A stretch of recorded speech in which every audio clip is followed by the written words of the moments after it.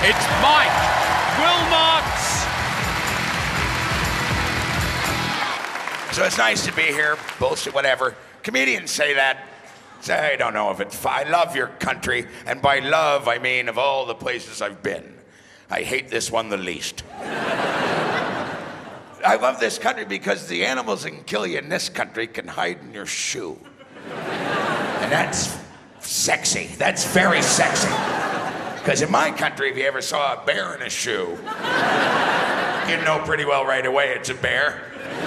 Even if he's wearing two and he's trying to fit in. Just walking around the picnic table, I, I'm not a bear. I'm wearing the shoes. Hug me, human. I mean, fellow human. I sort of fucked that joke up by talking a bit too long as a bear. Maybe bears talk. Maybe, who knows? Maybe, maybe they whisper. May- Maybe you, you don't find out bears can talk till they're just on the other side of the tent. you just hear a, we can talk. Roar! And they rip your face off. And then next thing you know, you're in heaven screaming, fuck! Bears talk! and then God uh, puts your face back on. I mean, I'm guessing that. But if you're religious, which I'm not, and you believe in a God, I guess that's the whole idea of God. If you've been good all your life, when you've died as the result of having your face ripped off, God puts your face back on. I wonder if that's what Michael Jackson went through for a while. Running around heaven, God's got a big box of faces. Which one do you want? You didn't number them. It's a joke. Get relax, for God's sake, it's a joke. He went to hell, he touched kids. Come on. Wake up. He was a pedophile. He was a moonwalking pedophile. Tell me there's something scarier than a moonwalking pedophile. Even bears in shoes are getting the fuck out of the way of a moonwalking pedophile. Just when you think he's leaving your house, he's sneaking into your kid's room. I guess what my point is if you're a woman out there and you got big old floppy tits, that's fine. Don't get them all shortened. Don't get them all. My old lady just got a. And when I say old lady, women, don't get all pissy and form a giant woman and attack me. I hate the idea.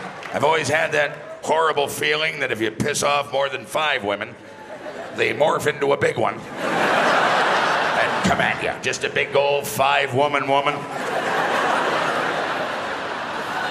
My wife had her breast reduction. Horrible. I didn't agree with it. I loved them. Every square inch of those floppy buggers. I. It's horrible.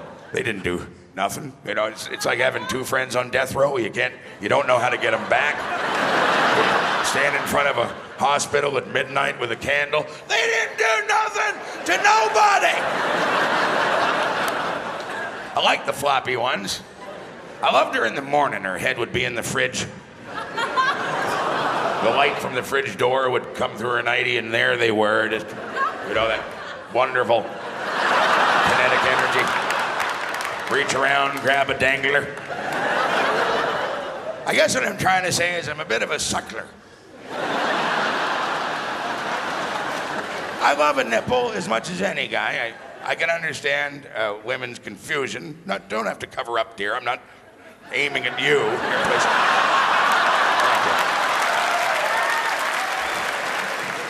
Here's my point. Uh, I don't know how women can watch men suckle their breasts without laughing. There he, there he is, a grown man, sucking away with his eyes rolled back like a feeding shark. How you have any idea in your head other than how, can you keep a job? How do you, how do you, you know? There's my point. Tits are fun. Yours are fun. They're on TV now. Everything's fun with tits. Vaginas, business. That's all I'm saying. There's no humor in the vagina. You, you can't just sneak up on her in the shower and just like and run. Because it, it just she'll kill you. She'll destroy you. Because you got to finish that. You can't just wiggle and run. Put, put down your suitcase. Fuck, you're done. Put it. What? You know.